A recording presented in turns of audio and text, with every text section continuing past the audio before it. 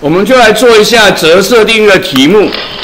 折射定律的题目呢，这是一种考法，叫做画一个入射光，画四条折射光，问你折射光是哪一条？啊，啊，或者呢，就画四张图，有不同的折射，然后问你说谁的光速比较快，谁的光速比较慢，诸如此类的问题。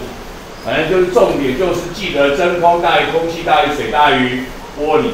记得角度比较大的代表光速会比较快，所以他就如蛇所示。请问你呢？他告诉你说，空气的光速比在水里面快，从水进到空气里面，我们的折射线会是哪一条？我们不会是丁，折射是从假介质进到乙介质，所以介质会一样。这个丁叫做反射。还不晓得有没有遵守反射定律，所以不会是 D。这个乙是完全没有折射，只有一种情况看不到折射，什么情况？垂直，它没有垂直，所以一定会折射。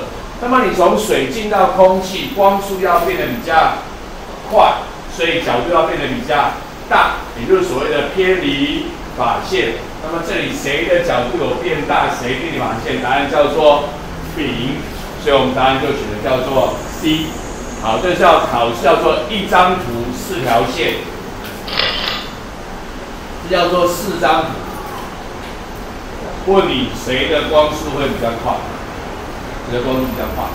啊，谁的光速会比较快？而就是一样，我们讲过嘛，角度大代表光速比较快，比较快。OK，帅哥美女，现在又要换大美女了。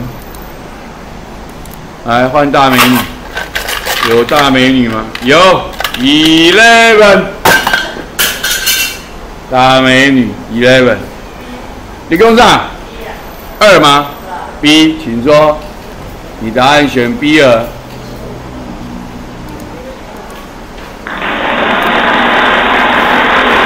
因为那个它的基本上它的入射光都一样，入射角都一样。所以谁的折射角越大，谁就代表谁的光速就会越快。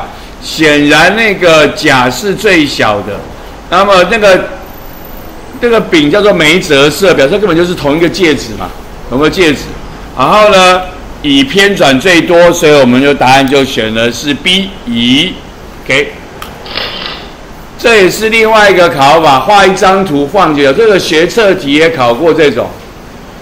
学测也考过这种，叫画这样，然后问你说一样，问你光速快慢，还是一样吗？比谁就好了，比角度就好了，就好了，一样的问题，简单小问题，就折射定律啊，折射定律，我们在所谓的会考这个程度的考试也是考过的，是考过的啊，像刚才你就考过的，我们可爱的找不到帅哥呢，有了帅哥三十二。三二正赏，你你为什么一副看起来这么聪明伶的样子，然后每天站起来都是那种奇奇怪怪的笑容？啊啊，猪啊，你选猪啊？好，请坐。要你看起来一副聪明的样子，为什么好像每天站起来都是怪怪的？反正就是我们的细节就不讨论嘛，我们没有教折射率嘛，我们细节不讨论。反正就是角度大代表什么意思啊？光速快嘛，所以谁角度最大？乙嘛。那么谁最小？甲嘛。所以答案就是乙大于丙大于甲。这就是另外一种考法，类似的想方法，就是考折射定律。再说一次，记得光速快慢，真空大于空气大于水大于玻璃。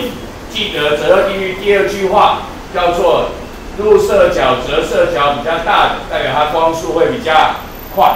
那么就用这个方法就可以解决人家问我们的问题，OK 吗？OK。